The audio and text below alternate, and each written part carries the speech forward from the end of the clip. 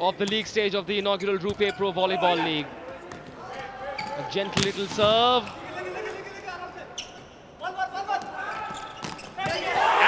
with that comes the end of Ahmedabad defenders' misery. U Mumba have pocketed this game 4-1, would you believe it? Will be pleased as punch.